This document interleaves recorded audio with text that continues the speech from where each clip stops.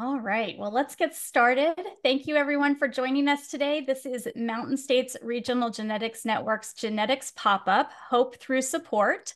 Thank you all for joining us um, for our last genetics pop-up. Um, just a couple of Zoom logistics before we get started. We are um, asking everyone to stay on mute during the first part um, of our presentation, and then we will have some Q&A during the second part.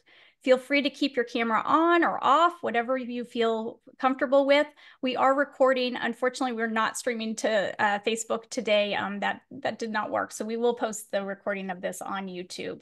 Um, at number three here, you can see our active participant list. And if you have any questions, um, please use the chat to message Michaela or myself um, from Mountain States. We're here. We can help help with any of those.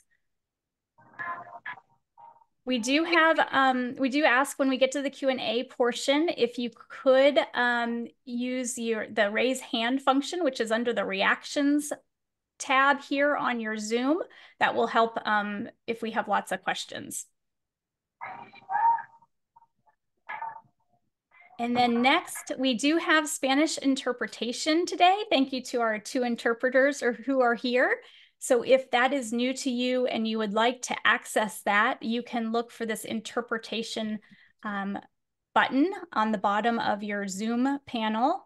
And um, you have a couple options here. You can choose English um, or off, wherein you will hear only the presenter in English. You can choose Spanish, where you'll hear the, hear the presenter in English and the interpreter it's in Spanish at the same time. Or you can choose Spanish and mute original audio, which will allow you to only hear the interpreter in Spanish. So those are the options. And if you're having any trouble finding that, again, it's on the bar where, where the mute and start video are all the way to the right-hand side. Where do you look for the recommendation? All right. We'd like to start off with our funding statement. Our um, funding comes from HRSA, Health Resources and Service Administration. And um, if you are interested in learning more about this funding, you can visit hrsa.gov. We are greatly appreciative for this funding um, to make events like this uh, possible in the Mountain States region. So a little bit about what we're going to do today on our pop-up. Um, we're going to have a little introduction. We're going to switch over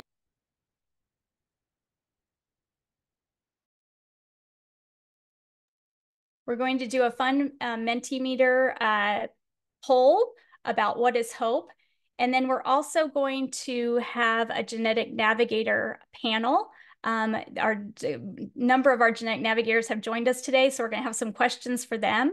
Um, we have some links to some genetic support resources. And then the best part of the pop-ups are your questions. So as you're listening and um, participating, please feel free to note your questions in the chat um, or jot them down on a piece of paper so you don't forget, and we'll, we'll have plenty of time for those at the end. So as I mentioned, this is our last genetics pop-up, um, and it is bittersweet for me for sure, um, because this is our sixth year of doing these genetics pop-ups.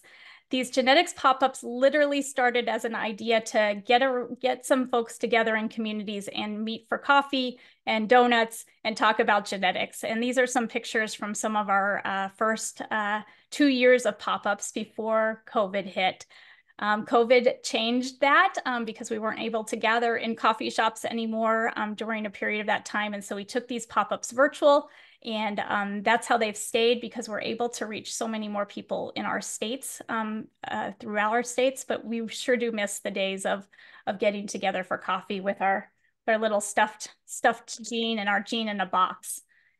Back in the old days, we literally mailed people genes in a box and resources and materials. And um, we have these available virtually um, at the link. And I'll ask Michaela if she could pop that in the in the chat when she gets a second.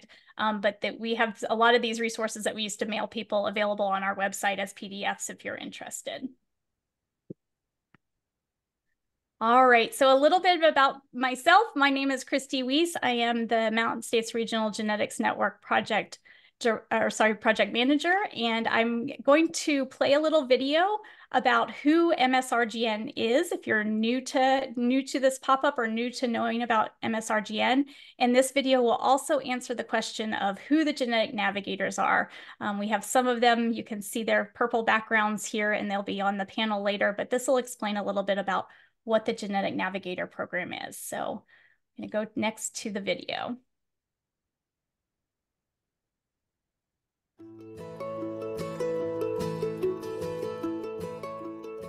Hello, and thank you for a few short minutes of your time. Let me tell you a little bit about the Mountain States Regional Genetics Network. Who is Mountain States Regional Genetics Network, or MSRGN for short, you might ask? MSRGN is a regional network consisting of eight states Texas, New Mexico, Arizona, Nevada, Utah, Colorado, Wyoming, Montana, and we are funded federally by HRSA that funds the seven regional genetics networks, which includes MSRGN, along with the Family Center and the National Coordinating Center. The mission of the regional genetics networks is to increase access to genetic services for individuals and their families, including those who are underserved in our region. In 2021, Mountain States Regional Genetics Network selected eight individuals who had navigated the genetic journey for their own loved ones in their own state. These individuals became our genetic navigators and are now available to help families navigate genetics. Genetic navigators offer resources, guidance, and navigation to others from a perspective of someone who has been there and done that and has been on a genetics path and journey for their own loved ones. Sometimes we all just need a helping hand. The ultimate goal of the program is navigating to hope for families who may be filled with questions, who may be looking for resources, or who may be experiencing barriers to accessing genetic services in their state.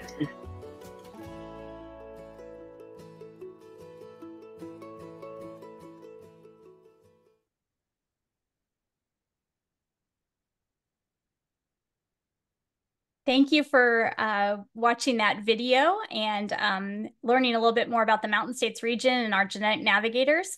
We're now going to switch over. I'm going to switch my screen over to Mentimeter. Um, first, I'm going to put up this uh, slide um, with some instructions. So Mentimeter is an interactive polling um, platform.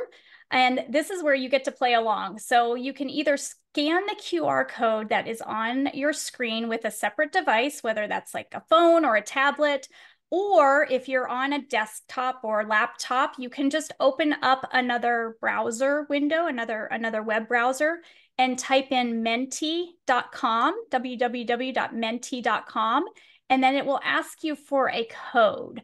And that code for today is 6275391. So while everyone's doing that, I'm just gonna give you a minute here. Um, these instructions will come up again as soon as I bring up the other presentations. So I'm going to stop sharing for a second. And again, if you haven't gotten that, the menti.com is 6275391 and Michaela's gonna help us put it in the chat as well. So let me switch over slides. And then again, these instructions will come back up in just a moment once I get the other slide deck up. I hope that you like this. This is a this is a fun one one to do, and um, hopefully you can play along with us. All right, so here we are with Mentimeter. Um, is everybody seeing the Mentimeter? Hopefully, I see some hearts coming out, so hopefully that's working. All right. Again, here are those um, instructions. So if you were ha having trouble connecting, um, you, you, can try again. So it's either scanning the QR code that should bring it right up in your phone or tablet in a separate device, or you can open a browser window with menti.com and type in the code 6275391. Is anyone having any problems? If they are, feel free to message us in the chat. If not, I'm going to go to the next page here and um, we can we can do some practice ones. All right, we are uh, joining today close to Rare Disease Day, um, and we'll have some some information about Rare Disease Day here in a moment. But I thought we could do a warm up question um, about what rare disease um, are you connected to, and that might be for yourself, a loved one, a family member, a friend, maybe yourself. Um, so if there's a if there's a condition, a genetic condition or rare disease condition that you are connected to or or know somebody with, um, please feel free to put it in the boxes with the word, and it will create this word cloud that we see forming on the screen here. The zebra is the symbol of Rare Disease Day um, for, for the reason that um, a very popular quote of um, when you think when you hear hoofbeats, think horses.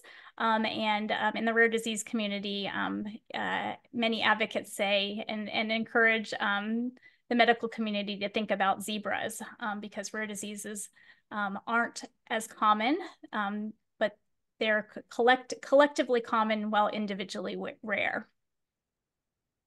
Uh, lots of lots of different conditions. It looks like maybe the most most uh, votes here for cystic fibrosis since that's staying in the middle and, and the largest one, some Ehlers-Danlos. And oh, they keep keep moving around. Lots of maybe specific genetic ones or chromosomal ones with these with these letters and numbers. All right, looks like they're they keep coming in. So thank you for thank you for sharing. And we're we're really glad everyone is everyone is here today. So thank you for Thank you for sharing that. 30, they still keep coming in 35 responses. Wonderful. Okay, we're gonna move on to the next slide here. Again, just a couple warm-up slides um, to get you used to using Mentimeter. Um, we would love to know, have you ever come to a genetics pop-up before? Is this your first time? If it is, you can um, click the red on the stoplight. If you're not sure and can't remember, you can click the yellow if this is uh you've been here before and you're back again, we'd love you to click the green. Great, lots of you coming back uh, have been here before, so welcome back. And it looks like we have some new folks as well. So thank you for thank you for joining us today for your first pop-up.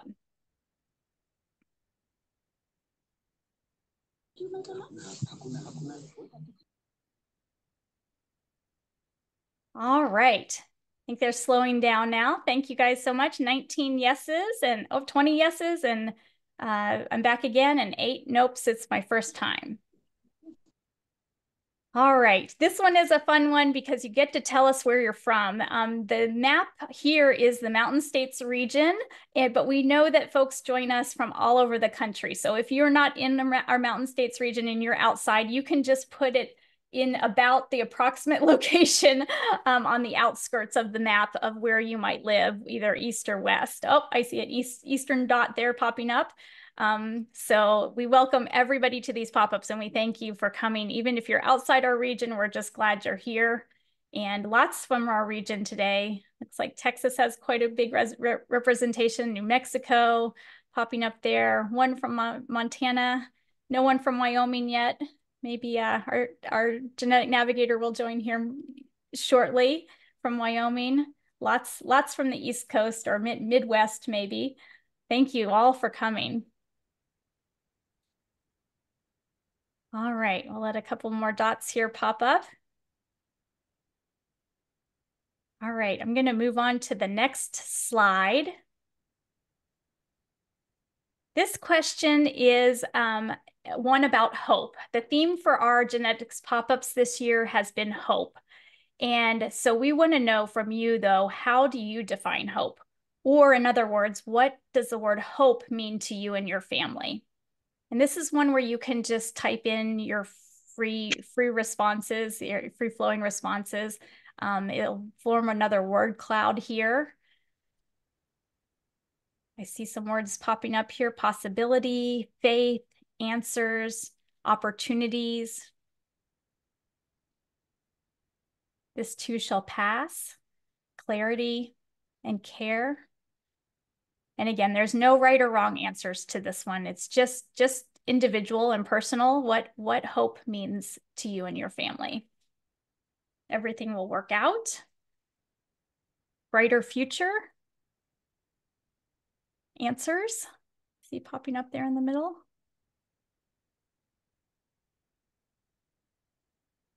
Thank you for, for contributing and sharing. I don't know if I've read all of them because they keep moving around, but I just I just saw a, another one pop up there. Attention and progress, acceptance. Great. Thank you so much for, for contributing to that. I have another question here for you.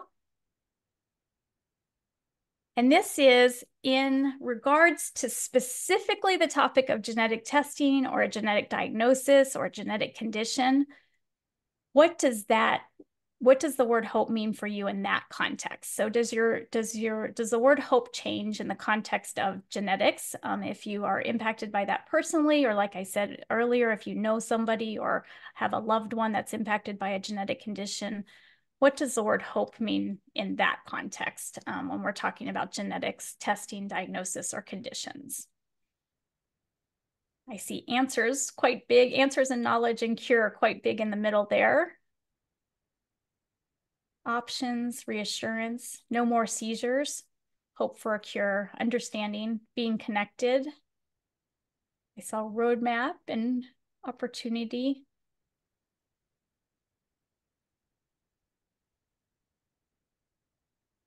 Thank you for all these responses. I see answers staying staying in the center and the biggest, so that might have more than more than one person person putting that in, um, since it's staying there quite, quite large. Being connected, that's a great jumping off point since we're going to be talking about support today. All right, I'm going to go to the next slide. And this is a little grid. Um, and since we're talking about support today, we'd love to know um, what that's looked like for, for you and your family. So there's there's four four different types of support that we've identified: um, social or psychosocial support, financial support, child or sibling support, and then caregiver or respite support.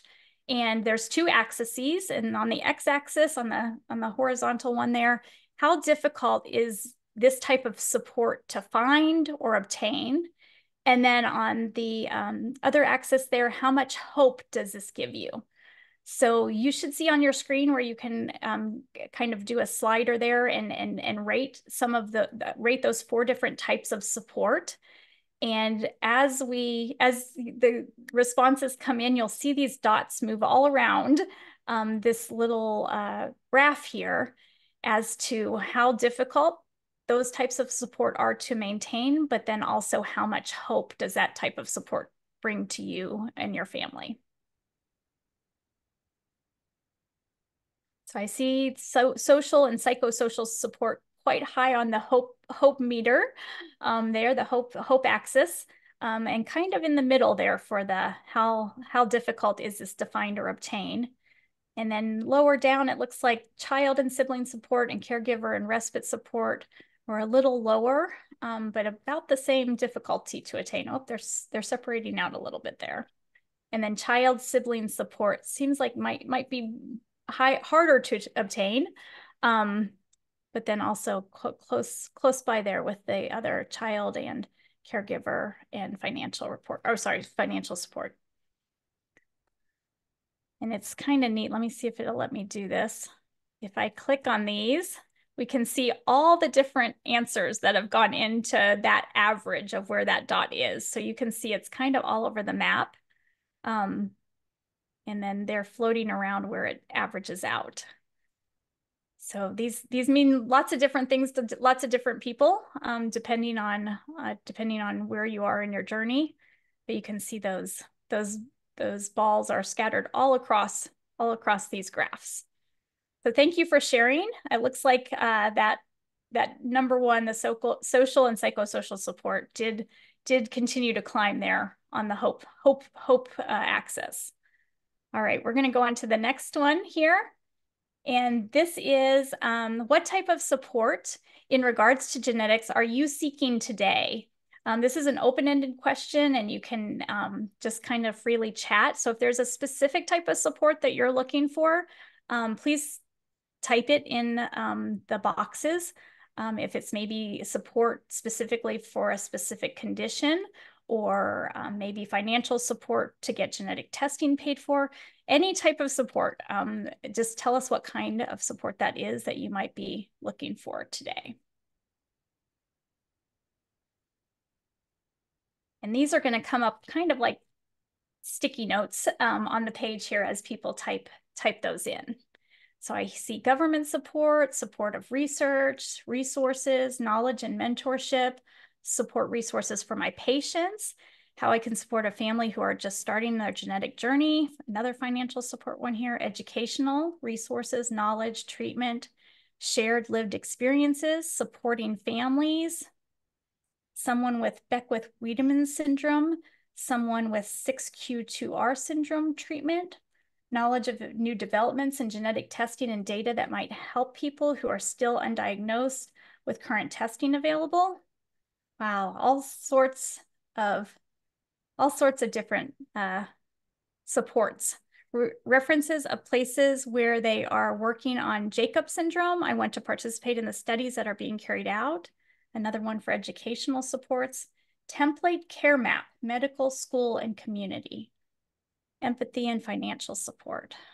Great. Thank you for sharing all these different different things that brought you here today and what, what you're seeking. New development research. Great.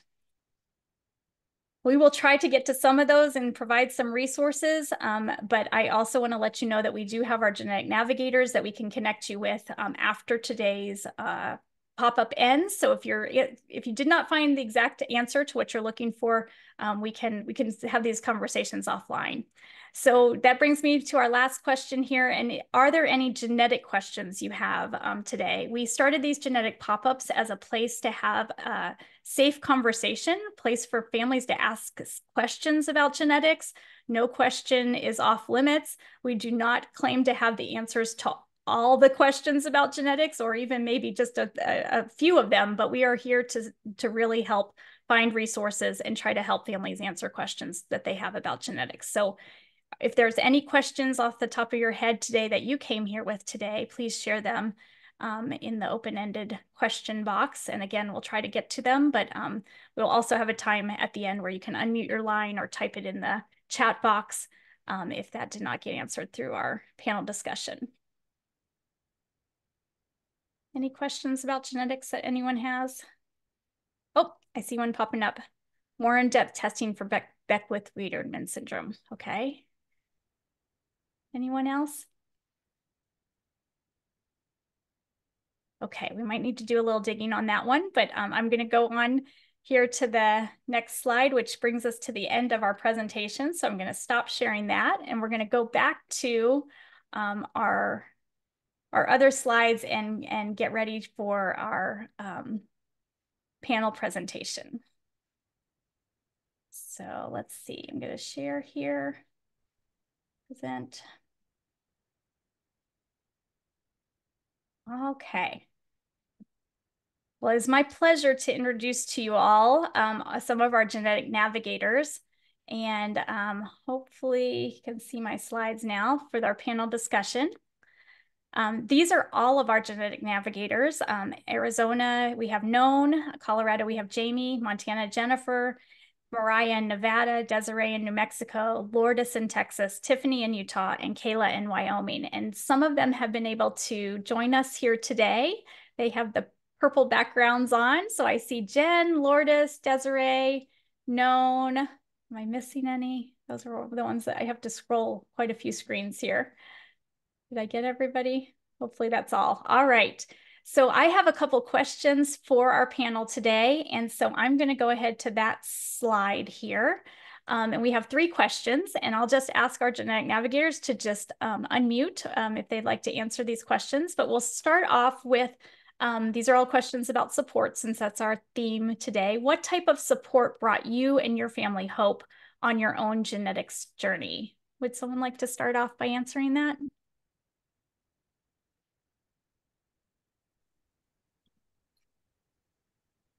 I'll start, Christy.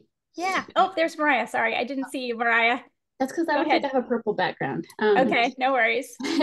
so when when my kids were first diagnosed, um, I was lucky enough to have been connected with another family who was going through a similar journey, and they were a little bit farther ahead in that same journey, and that that brought me a lot of hope because um, it kind of helped answer a bunch of questions that we had. Um, you know, the doctor kind of provided more of the um, textbook type of things, but the other family had more of the day to day, this is what it looks like type of answers. And so it was very helpful. Great. Thanks for sharing that. You cannot um, underestimate the the support from another parent, I think. Um, and that's that's the the foundation of our genetic navigator program and why you guys are doing what you're what you're doing is because you are you are those parents that have have lived and breathed breathed this and can help other families. So thanks for sharing that, Mariah. Sure. Does anybody else want to talk about their own type of support that they they found hope with for their own family? And I see Tiffany joined us too. Sorry, Tiffany, I didn't didn't see you either. I apologize. Yeah, go ahead, Known. Yeah, so so to sort of echo what um, Mariah said, uh, the support for our family was um, very much support from other parents. That was really helpful, and we were also lucky. And I know this doesn't apply to everyone, but um, my daughter's condition had a very strong disease specific organization, the Cystic Fibrosis Foundation. So that's always, if that's out there for you, that that would be my, you know, number one place to start that I would suggest for a family.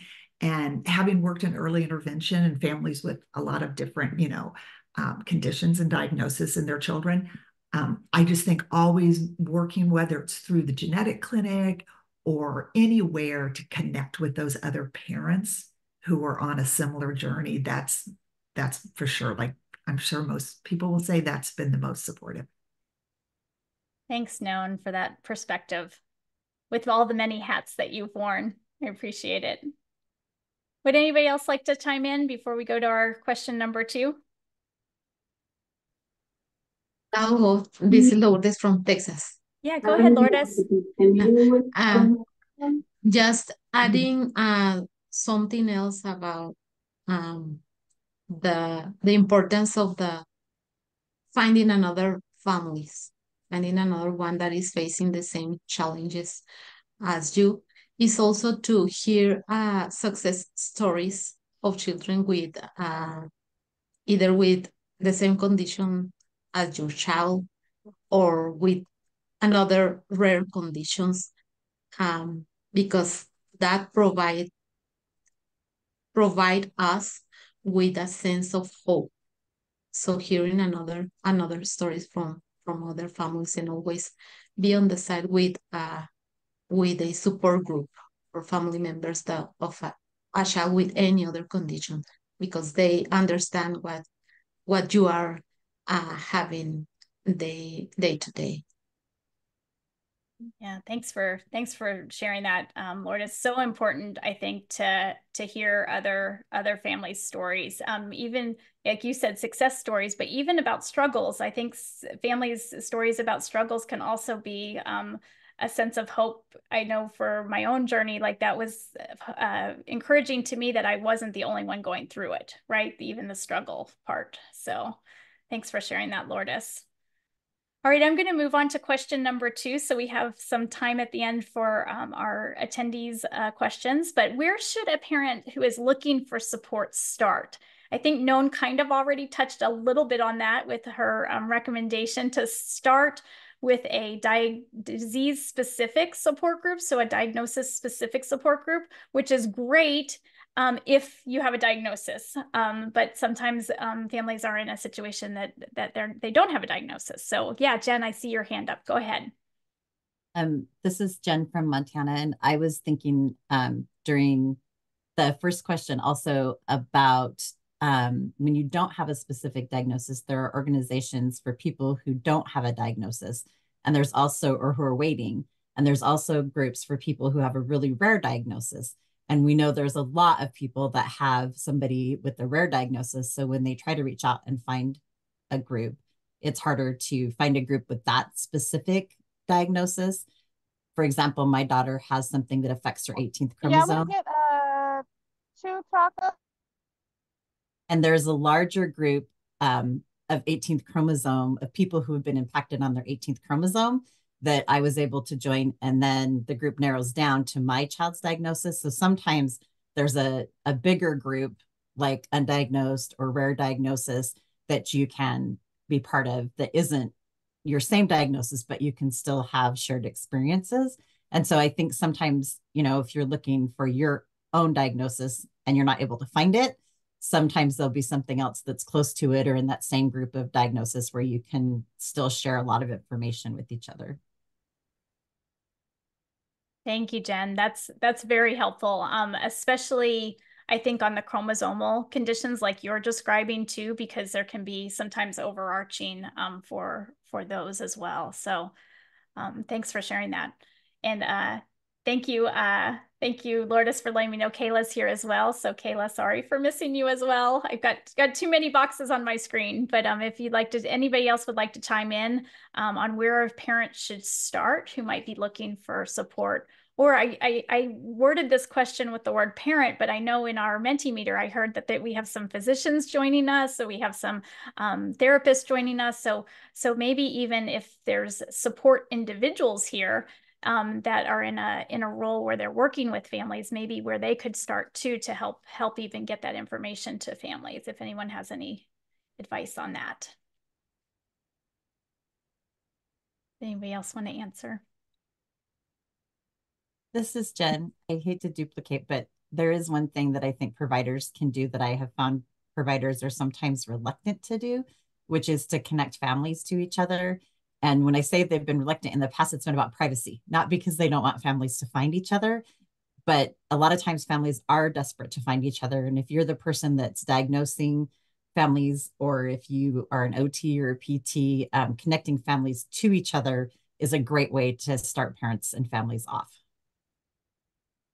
Great and this is Lourdes just to, to a little bit about the, the professional side. So establishing also a strong communication channel with healthcare with the healthcare providers can provide valuable insights also in guidance and access to the latest research and treatment. So so I strongly encourage parents to to have an open communication with the with the professional, the healthcare professionals.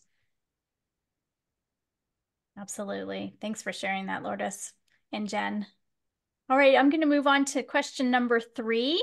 Um, and this is a chance for our genetic navigators to highlight some specific organizations, support groups that has helped you um, or another parent, maybe that you've helped um, navigate on their journey.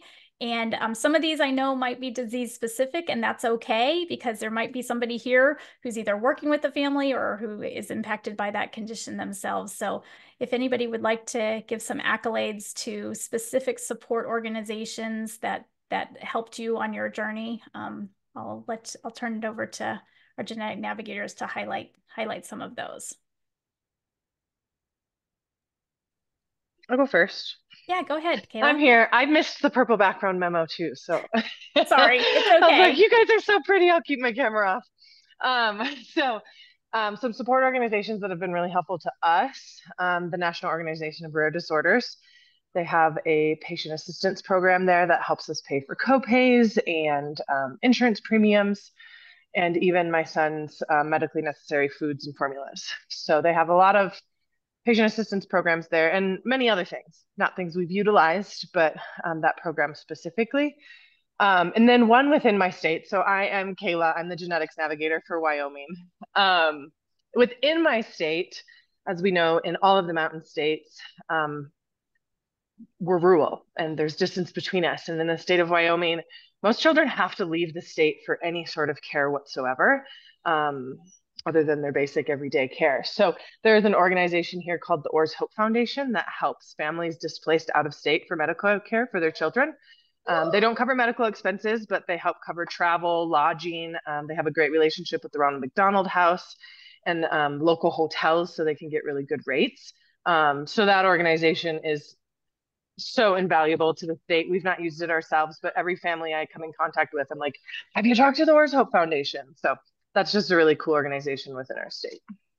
Thanks for sharing that, Kayla, and and really a, great example of of the psychosocial support plus the financial support, right? Filling both of those with with that um, with that organization, and and I know that's specific to Wyoming, but encourage other people to look in their own state for similar type um, nonprofits or foundations that might be doing something similar. And I see Mariah's hand up, so go ahead, Mariah.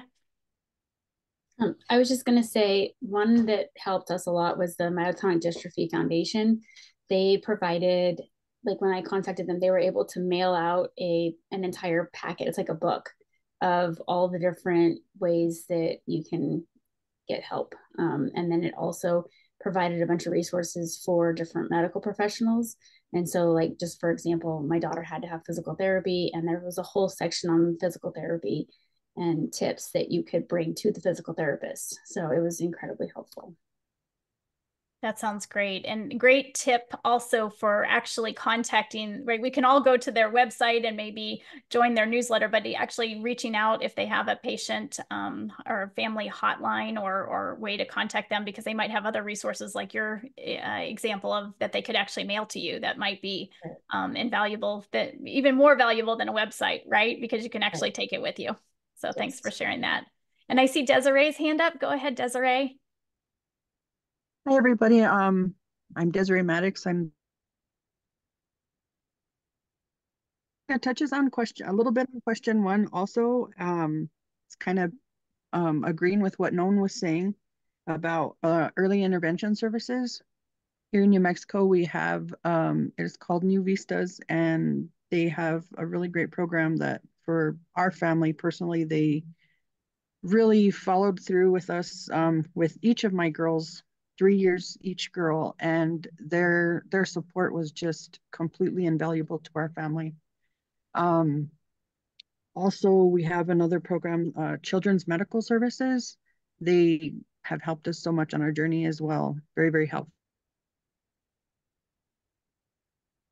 Like um, places to get um, to help you find um, lodging.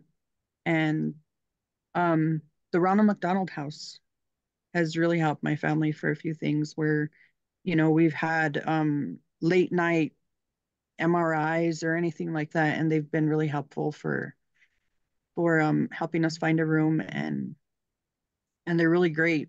There's you know there's food there there's everything that you could possibly need there they're extremely helpful. And also our insurance, um, our reimbursement and everything as well. And that's Presbyterian. Thank you for sharing, Desiree. All those are great, great examples, and and people can look for similar similar things in their own state if they're not in New Mexico. So, thank you. All right, well, I'm going to go move on to let everyone know um, that's joined us today. If you would like to continue the conversation, if you live in one of the states in our region and would like to continue the conversation with one of our genetic navigators um, about some of what they shared today or, or other questions, if they don't all get answered during, during our pop-up today, this is how you can reach out to them. And so um, the format of the email addresses is just the state name, so I'll use knowns as an example. So Arizona, and then the word genetic, not with an S. So just G-E-N-E-T-I-C at gmail.com. So each state name, Colorado genetic, Montana genetic, Nevada genetic, New Mexico genetic, and so on at gmail.com. That will go right to our genetic navigators and um, they check these accounts once a week and can, can um, respond back to you via email or set up a time when you can talk on Zoom or over a conference call. And I have my email at the bottom here. So if you don't live in one of our states, but would like to get connected with someone um, in your own state, um, we have regional genetics networks all across the country. And so I'm happy to connect you with um, folks in your region as well. So, um, or if uh, you just want to have any questions about Mountain States, feel free to reach out to me at kweese at mountainstatesgenetics.org. All right, this comes to the part where I have a couple of slides and Michaela's gonna help me out by putting some of these links in the chat of just some general um, resources eh, for support. Um, so you've heard from some of, you've heard some of these today, but I um, just wanna highlight some of these as well.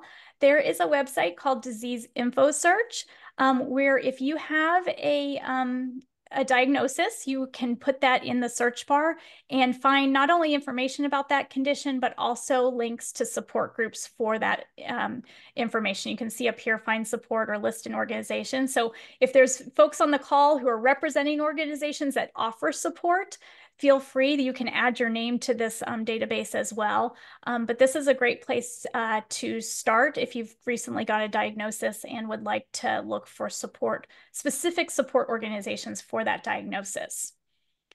Similarly, there is an organization out of NIH, um, National Institutes of Health, called GARD. It stands for Genetic and Rare Disease Information Center. And they also have a database. You can see here it's browse disease A to Z and find advocacy organizations. They also have a 1888 number where you can talk with a genetic information specialist. So if you have a, a diagnosis and you would like to get more information, you can call this number.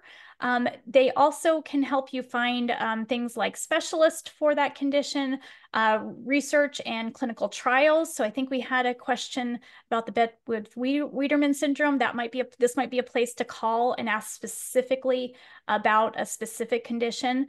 Um, this just a note though, this this hotline will not give you diagnostic information. So this you can't call here to figure out if you if your child or loved one has a certain condition. It's more for information once uh, about a condition that you already know about or or or or being suspected of. They can give you information on a, a diagnosis.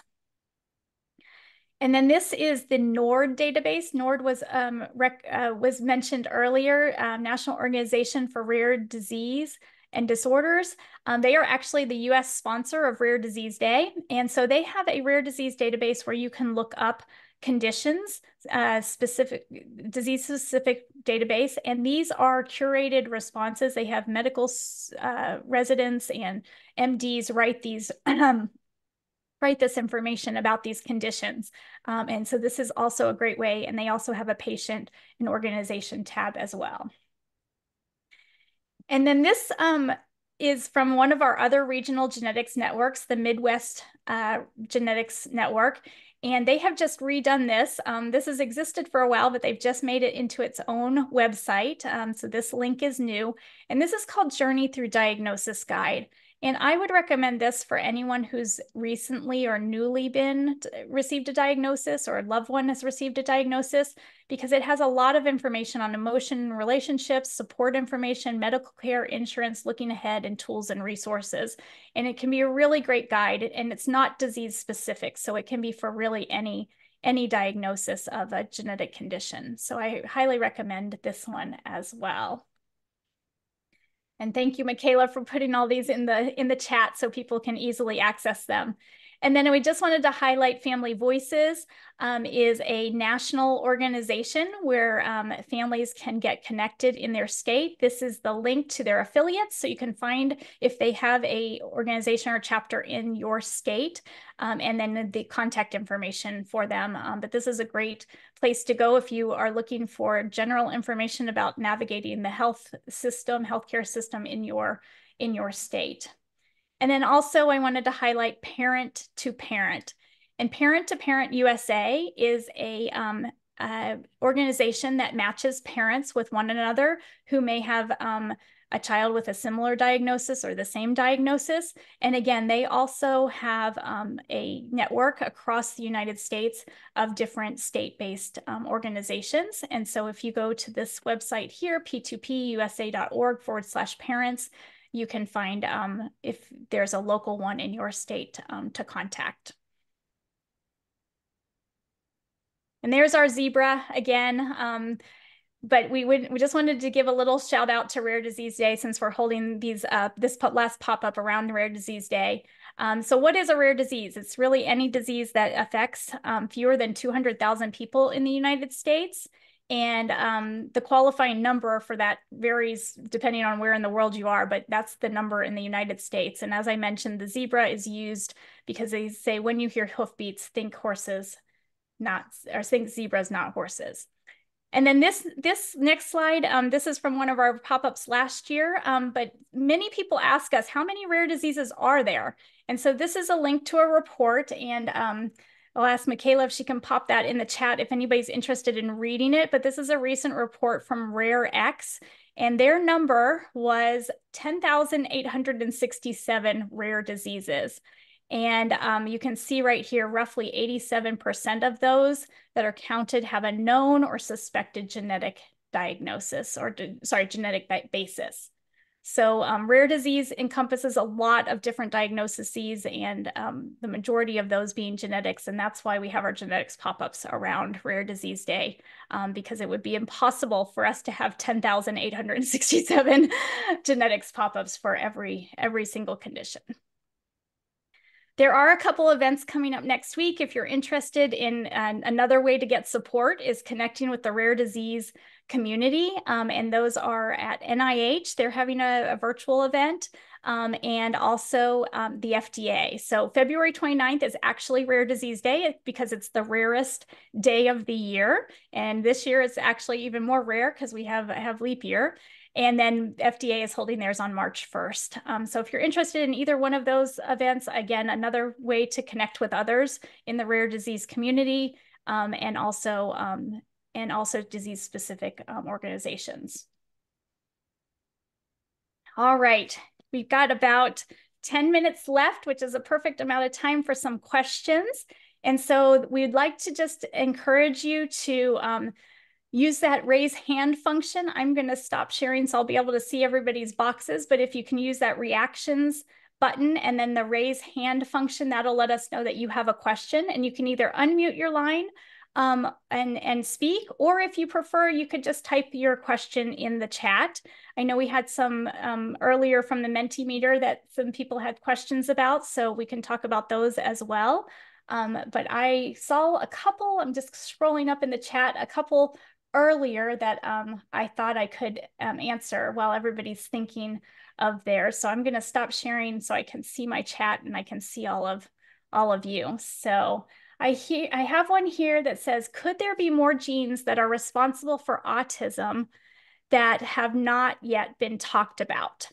And that is a great question. Um, there, are, there are lots of genes that have been connected with, um, with autism. I would point you to um, we did a, we had a, um, a webinar on autism and genetics um, about a year ago, and so under our webinars tab on our website, you can find that, and I'll see if I can get to it real quickly here and pop it in the chat. Um, but that is a place where you might start your research. If I'm not sure sure um, if you've already looked into that or not, but that um, might be a place to to start looking at at the genetics of of autism. And so I will put that in the chat here for you. Um, this is our webinar. It was it's for clinician uh, uh, practitioners. Um, it's for primary care providers, but I think it provides a very good overview of um, autism and genetics. And I see Marin's um, hand is up. Marin, would you like to unmute your line? Yes. Hi. Thank you. Um, I'm in the Chicagoland area, and uh, we have a uh, rare disease child undiagnosed, okay. and are trying to right now um, get approval for genetic testing for myself because they believe that a lot of it is from the mother's line um, to be able to hopefully get to a diagnosis. Um, and she is in the CFC syndrome uh, world, which is very rare. I guess only two to 300 people apparently um, have this diagnosis. And um, uh, how do we get assistance? Because uh, we had to challenge uh, the denial from the insurance to be able to get my genetic workup done uh, to potentially get to that diagnosis. Uh, it was then finally approved by the Illinois Board of Medicine, but at that point, the order had run out. And so we had to resubmit, and now we're back in the same boat literally a year later um, wow. after the original thought of getting um, my genetics checked uh, on a deeper level. Yeah. So how can I get support? Yeah, thank you for thank you for asking that question. Um, you ask a very similar question that is our top question that's asked of our genetic navigators, and it is around um, genetic testing approvals and and payment and insurance and and those types of things. So I'm going to recommend my top uh, reference for for support and and information, um, and then I'll ask if our our genetic navigators want to chime in on anything else. But um, we have recently found a resource and helped um, uh, update this resource. It's in the process of being updated called Plugs. Um, and it's um, out of Seattle Children's um, Hospital, this organization, and they have a guide for um, navigating insurance um, for specifically for genetic testing. And I think it's a very thorough, thorough place with lots of checklists and things um, that can be done to expedite those processes. So um, I'm going to look for that link um, while I open it up the floor to ask if any other the genetic navigators would like to chime in and talk about um, maybe some ideas that might might help you.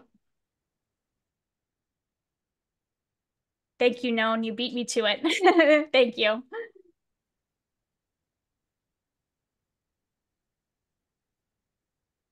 I'm just going to pull up the, the toolkit, toolkit here. Does anybody else have any any thoughts or ideas? And, and I just would maybe ask Marin just a clarifying question. Are you looking for financial support um, or are you looking for more social support to figure out on navigating navigating it? Is, is one of those more important than the other at this moment? I think for me, it's just uh, getting the insurance to realize that we have a child with rare disease and that there this isn't the only thing that most probably will be coming our way in regards to coverage because yeah. we pay a premium for our insurance. I don't want to have to pay out of pocket um, and become dependent at some point. But, uh, you know, I have a very privileged situation that I do have a, a good, sturdy salary. However, it is limited uh, because of the costs, obviously, that come along with uh, caretaking, that it gets challenged and therefore it's vulnerable. And, you know, we need to make sure we can keep our home and do all these other things while testing and, and, and so on is going on. So for me, it's more from an insurance support. Yeah. Uh, side of things to be honest because you know i've i've even realized this during pregnancy that everybody generalizes um, pregnancy and doesn't consider you know if there's um, yes. So issues think, arising, right? Yes. So, so I think one of the other things that comes to mind is that um, your insurance company, if you have not gotten a care coordinator or a nurse um, care manager um, for rare disease or for children with special health care needs, that would be my recommendation to ask for. Um, specifically, most insurance companies have a division for um, I'm going to call it high needs or high utilization. And I, I dislike that word, but that is the word that's used in the insurance realm. So you might need to use that. It's for it's for those that are insured that might be um, having higher higher um, charges um, or or reimbursements. And so so oftentimes they will assign a person to help manage man, to help help the family communicate with to manage um, that because sometimes it takes a lot more levels of approvals and things. So I know our family did that when we were going through genetic testing, and it was incredibly helpful because I didn't have to explain the story every single time to a different person. I had a person that I was my point person and I could communicate with and they, she, she happened to be a nurse um, case manager. So I would highly recommend that um, as, as a step if you haven't already explored that. No, I appreciate that. I think our bigger issue with the care coordinator is we're literally right now in no man's land because nobody knows how to take charge of my daughter's situation. Yeah, and I understand. Uh, we're in dire straits and we have nowhere to turn, which is the sad part. So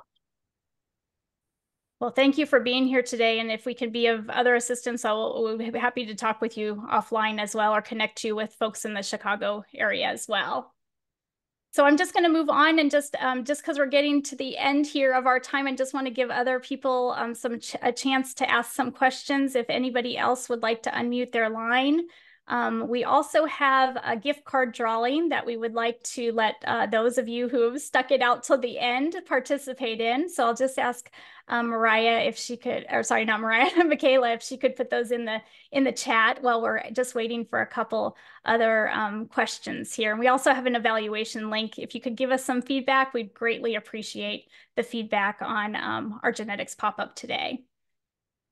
Were there any other questions anyone had about support or really just any genetic questions at all There's one that comes to mind from the Mentimeter, um, and that is uh, someone, there were quite a few asking for um, research support or possibly support for finding um, uh, trials that you could participate in. So I just wanted to give a shout out to clinicaltrials.gov as a go-to place for um, a database where you can actually search uh, diagnoses and different clinical trials that are going on. It gives you all the information on who is the primary investigator for that, um, who you can reach out to, who is eligible, what the exclusion criterias are. There's just tons of information on there at clinicaltrials.gov.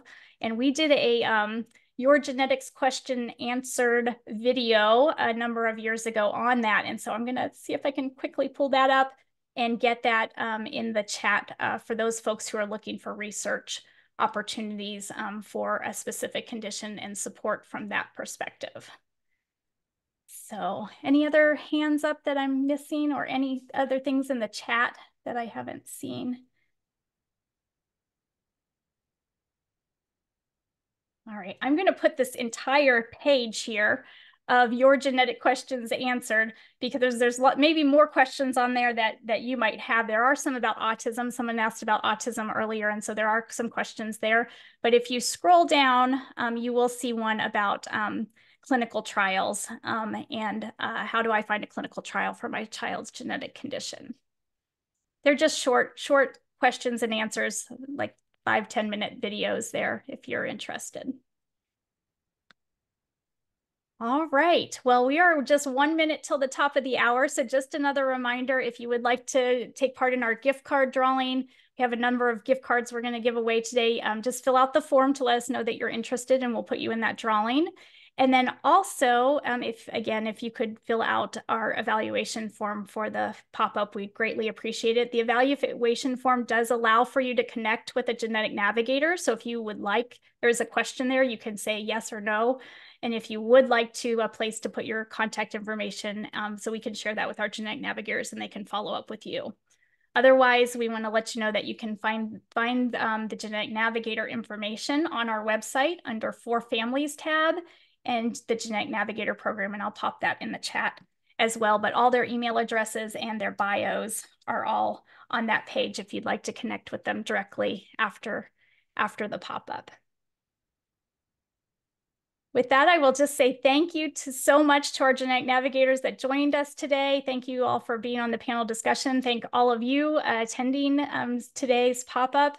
And we are just so gracious for your time today and, and for being here. And this will conclude our last genetics pop-up for Mountain States. So long, everyone. Bye-bye.